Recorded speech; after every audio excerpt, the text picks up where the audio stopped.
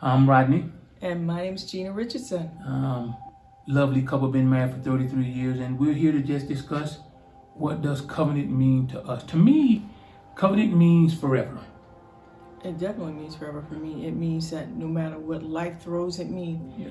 that my attitude towards my relationship does not change. Not change. There's no, there's no back door. There's no, uh, there's no escape hatch. There's no escape clause.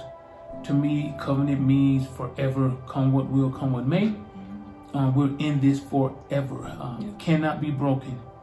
Will not be broken. I won't break it. And I won't break it either. And so for us, covenant means truly till death do us part.